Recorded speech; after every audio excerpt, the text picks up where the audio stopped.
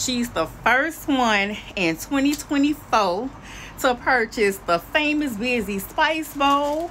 And I'm giving to four people, the first four people, a choice between my famous Bizzy Spice Bowl and my Bizzy Candyland Fun to Eat Chamoy Pickle Kit. Of course, she never tried my pickle kit, so she got her Spice Bowl plus her pickle kit. And guess what? She brought out extra famous bizzy spice bowl tell them about these um famous bizzy spice bowls. These spice bowls is the bomb. Y'all need to get at her. Baby she's been supporting me for a while.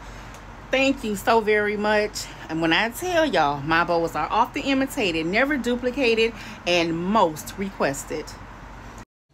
I appreciate that queen so much.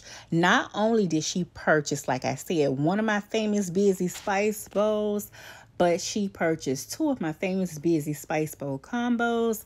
Happy 2024 New Year. Plus, she got her Bizzy Candyland Fun to Eat Chamoy Pickle Kit for free because she never tried the chamoy pickle, so she will have fun with it. Hope she enjoy it. Again, get busy with me.